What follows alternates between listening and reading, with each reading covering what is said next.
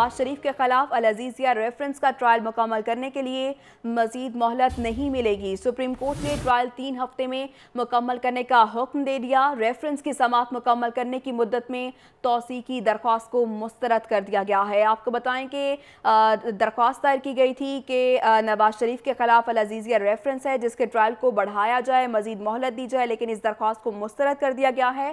بات کر لیتے ہیں، عمر شاکر ہمارے ساتھ موجود ہیں۔ عمر کہی گا، درخواست کو مسترد کر دیا گیا ہے۔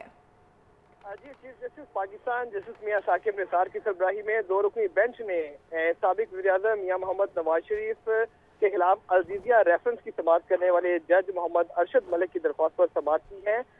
سپریم کورٹ نے نواز شریف کے خلاف عزیزیہ ریفرنس کی ٹرائل تین ہفتے میں مکمل کرنے کا حکم دے دیا ہے۔ چیف جسٹس پاکستان نے دورے سماعت ریمارکس دیے ہیں کہ العزیزیہ ریفرنس کا ٹرائل مکمل کرنے کے لیے اب مزید مہلت نہیں دی جائے گی۔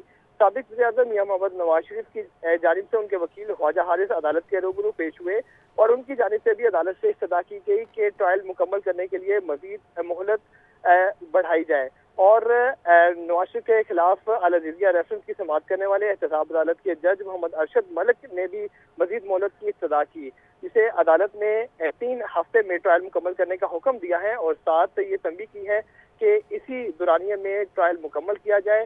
اور احتساب عدالت کے جج محمد ارشد ملک کو حکم دیا ہے کہ تین ہفتے میں ٹرائل مکمل کیا جائے۔ اس کے بعد جو ہے وہ ٹرائل کے لیے مزید مہلت نہیں دی جائے گی۔ جی۔ شکریہ آپ کا، عمر شاک ہے